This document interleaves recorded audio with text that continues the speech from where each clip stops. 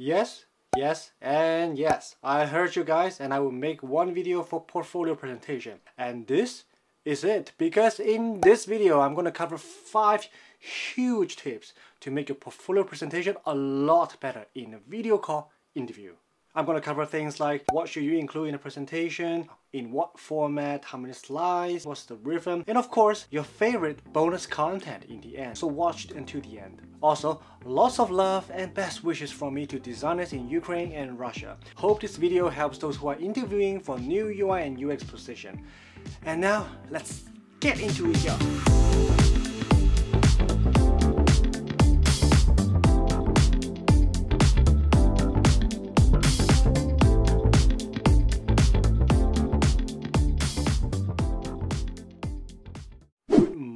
Everyone, my name is Justeen, I'm a designer working in Silicon Valley. To start off, let's establish some context, shall we? There's a term that we need to know about.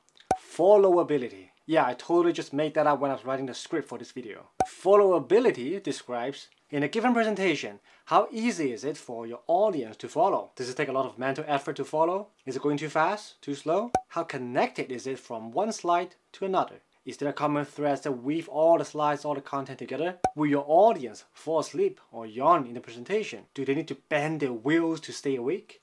Does it feel repetitive? Do your audience get frustrated looking at your slides? Will they get bored? See what I'm getting at? I mention this because I realize this is actually a really, really important piece in a portfolio presentation, whether it's on-site, in person, or in a video call actually. And sometimes it could be a make or break to the next round. Since we have this foundation set up, now we can dive right into all of the five tips.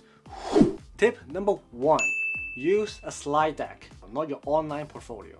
I've already covered a really thorough rationale why using a slide deck over your web portfolio in one of my previous videos, so I'm going to spare all the details today. But if you're interested, link in the corner and down below. From a high level view, a slide deck does give you a lot of benefits. One, you have a lot more, a lot better control of the narrative, the pace, the content synchronization, which is very important, and the overall experience to your interviewers.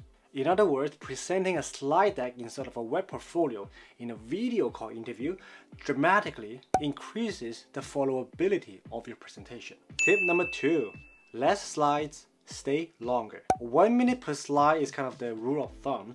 In a 40 minute presentation, 40 slides top. 30 minute presentation, 30 slides top. Since this is just a rule of thumb, it's not a hard rule because sometimes you can have 2 minutes per slide if there's a story or some details to elaborate.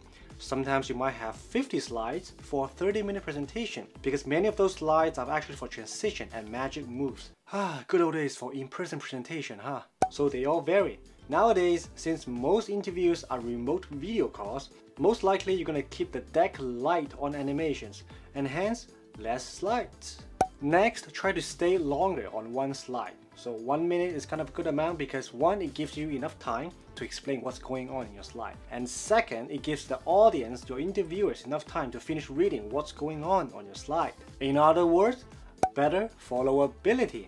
Imagine you go to another slide every 5 seconds, transition all the time, so many animations, so much magic move. Before I can digest one slide, I have to see another thing coming in. No, no, no. Terribly difficult to follow. A final note on this one, Nowadays, a lot of these video conferencing call actually uses something called lazy loading. It's one technique that they use to optimize animations, MP4 content, even images, meaning any animations or pictures that you show will appear super blurry to your audience in the first few seconds. And over time, it's going to ramp up to the highest resolution that you intend it to be. And of course, the smoothness of the animation. So it totally makes sense to stay on one slide longer especially you have some MP4 and GIFs to show. Let it finish loading, right? Let them see what your animation really is about if you have to show any animations. Tip number three, prepare for everything, but don't show everything. This is the core of these five tips. In terms of what to show, here's a very typical, safe,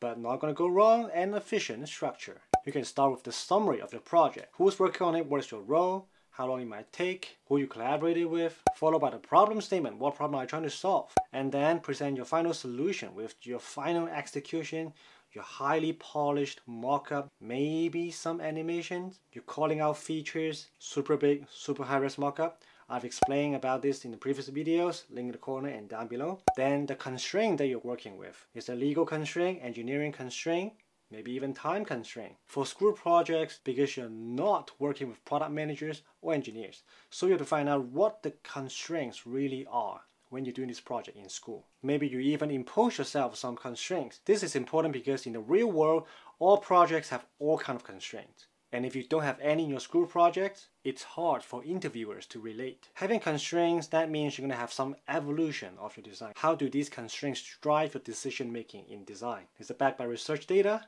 Is it a product requirement? Or any backstories, any interesting inspiration they're trying to draw? Put this here. This is part and only part of your process. It's not the full process, only part of the process. And the next is the impact of your project. Does it help increase revenue by 5,000%? Does it help reduce the drop-off rate by 200%?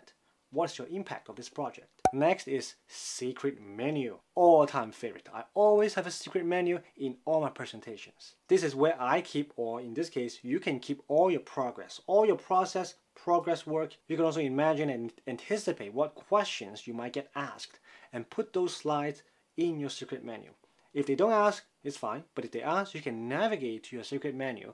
Maybe it's behind the Q&A page to elaborate more with some visuals on the screen. So this is one way to present it. By no means is a set structure, set order. You can rearrange them and see what fits your story. No matter what order you have, what content you have, I have one secret weapon for you to connect all your slides to make them more cohesive, a lot easier to follow, which is to have one common element from one slide to another. So here's an example. You have three slides, one, two, and three. In slide one, you have element AB. Slide two, BC. Slide three, CD. So you have B shared between slide one and two and element C shared between 2 and 3. If you structure this way, your presentation will be very, very easy to follow because there's always something that they can hold on to from slide to slide. But of course, it might not happen for every single slide you have from the beginning to the end. But the more you do it, the easier to follow overall. So that's what we're looking for. And that is one secret weapon I can offer you. And next is what not to show or try not to show unless you have a really good reason. The first one is too much research phase content, which we have covered already in another video, link in the corner and description down below. If you have one slide on persona, one slide on affinity diagram, one slide on research questions, another slide on research method, delete them. You don't need them. And I will circle back to this. Raw research studies are really hard to read and digest, and hence super low followability they cannot follow you. Hiring managers are looking for what you learned from these research studies. So arrive at the point. Just show me a summary of the top three insights that you found out. Boom, boom, boom. That's it. Very effective, very easy to follow. Go back to the previous point. Delete those slides from the main presentation. Keep them in a secret menu. Again, if the interviewers have questions about them, I can show them. If they don't ask, I don't show anything. Best for the both worlds. And next, super super detailed design decisions. Like why use 16 pixels instead of 20 pixels in this margin. If this is an important and interesting part of your story, sure, show it. If it's not that important, then don't show it. For example, you have two designs, one with 16 pixel margin and one with 20 pixels margin. You tested both with users and the one with 16 pixels actually get 500% increase in click rate. Wow, that's a wow level finding. Something's going on there. That's interesting to show. Most of the time, these kind of details are not really that interesting. If your margin is good, I can tell. It feels good, your marks. And if it's too wide, then you screw it up. You can really dial back in all these kind of really, really tiny, small design decisions. They are important to you when you're designing it, but not really to interviewers. There are two main reasons. One, you don't have too much time in your presentation, so save the time for something else. Second, it's actually really hard to follow and keep up with these kind of level of details. And hence, super low followability. You know all the details, that's great. But at the same time, it can take up days to catch the interviewers up to speed in terms of what your design is at. This point, take note because this is actually verified by a designer at Pinterest that I spoke with and another designer that I know at Google. Don't show too much detail. In contrast, it's a lot easier for your interviewers to understand something from the high level. So you can always start with high level or mid-high level and have things, super detailed things that you have ready in your secret menu. If anything comes up in the Q&A, you can pull up your secret menu and show them. Tip number 4. Sprinkle some process live photos. For example, some photos of you working in a super messy environment. That would be nice because it feels real. That's what the design process is like. If your presentation is 100% design mockups, fully pixels, super polished is great. At the same time, to hiring managers, it could be very exhausting for them. Think about it. They interview, they review tons of candidates every day. Look at their portfolio, look at all the mocks, and then you show another set of mocks, they could fall asleep. So sprinkle some live photos here and there could really increase the followability. Even if they're falling asleep, they would be like, Oh, this is interesting photo. Then they will follow again. If you really, really want to show some process of your projects, this is where you do it. The live photo. So make sure you document your project, take some photos of yourself drawing on the wall, or somebody taking a photo of you working in the sea of mockup and mess and post-its and highlighters around your desk. Those are great photos. Also maybe photos of you working with somebody else. Maybe even is slightly staged. That's okay too. But remember, these live photos are sprinkles. They are not the cake. You can remove the sprinkles the cake is still a cake. So one or two live photos will be sufficient. Don't go crazy on that. Last but not least, tip number five, rehearse five times. So five is a magic number, is a good rule of thumb. While you're watching, take notes. V0, ah, slide 20 is a little clunky. Hmm, slide 5 is, is okay. Slide 30 is, I don't know what I was saying. And then you can just iterate on your V0 slide deck with all the notes that you have. This is an example of how I did mine. Whenever I finish one, I just cross it out. The more experience you have in presenting and the more you are familiar with your work, the less times you need to rehearse. If you're new or you're not sure how many times you need to rehearse, just do five. Five times. Rehearse, rehearse, rehearse, rehearse, and rehearse. Maybe after five times, treat yourself for five guys. So those are five super powerful tips you can use today to up your portfolio presentation game. I know, I know there's another powerful one you've been waiting for. I know, I know, and let's get to it. The bonus content. Bonus content. I'm happy to take a look at your portfolio presentation and give you some feedback. All you have to do is 1. Smash the like button to support me spending hours making this video. And 2. Let me know in the comment section down below that you have liked the video and then you can send your portfolio presentation to my email which you can find in my about page in my channel. But don't send me your portfolio link. I don't want a link. Send me your slide deck a keynote or PDF only. This portfolio review is for video call interview purposes, exactly what this video is about. If you want me to review your web portfolio, check out my bonus content from my other portfolio videos.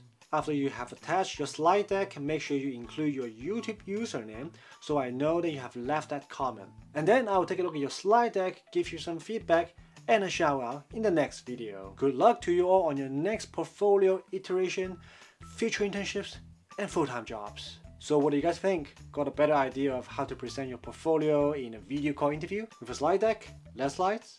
Rehearse five times? This is by no means a comprehensive list, so probably have more videos on this topic. If you know some other new ideas or tricks that I've not covered in this video, leave a comment, leave a comment. I would love to see what you think.